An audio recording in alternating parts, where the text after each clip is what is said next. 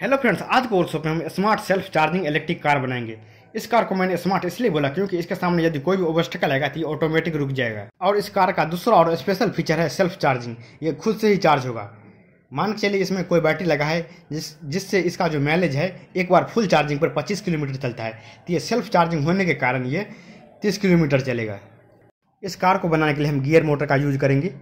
आप चार gear motor का यूज़ कर सकते हो या फिर दो गियर मोटर का यूज़ कर सकते हो।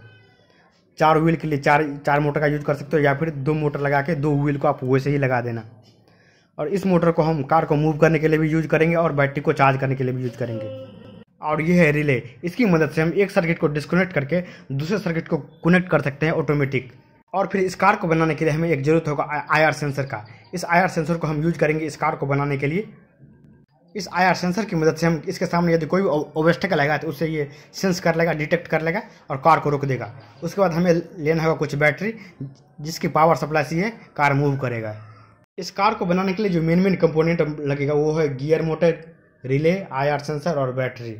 तो इस कार को बनाने से पहले हमें इसके हर एक कंपोनेंट के बारे में, हर एक फ़ंक्शन के बारे में जानना होगा कि ये आई आर सेंसर कैसे वर्क करता है, रिले कैसे वर्क करता है। और गियर मोटर की मदद से हम इसके बैटरी को किस तरीका से चार्ज करेंगे। तो यदि एक ही वीडियो में आपको सारा चीज़ बताऊँगा तो ये वीडियो बहुत ही लंबा हो जाएगा।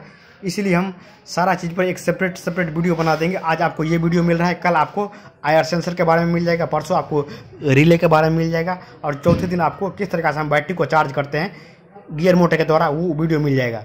और फिर लास्टली फाइनली आपको कार का वीडियो मिल जाएगा कि किस तरीका से ये कार हम बनाएँगे और कैसे ये मूव करेगा।